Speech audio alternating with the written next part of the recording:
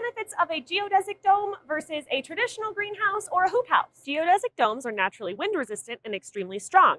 The dome shape allows for the wind to glide right over the top compared to a traditional greenhouse where the wind will push up against the sides and has the potential to blow away. The triangular geometry allows for any external pressures such as snow to be evenly distributed across the entire surface and the shape allows for that snow to shed off easily. The curvature of the dome helps to provide your plants even lighting throughout the day and the minimized surface area that's exposed to outdoor elements helps to reduce heat loss at night and during the winter months. We've maximized these benefits with the use of our premium five-wall polycarbonate panels, north wall insulation, above ground pond, and automated ventilation systems. Geodesic domes maximize the internal growing space by providing you more room for plants in the same amount of square footage that you would have in a traditional greenhouse. This is due to all of the vertical space that you have, making room for hanging baskets, vertical growing systems, and even trees and tall plants to thrive. So if you're shopping for a greenhouse,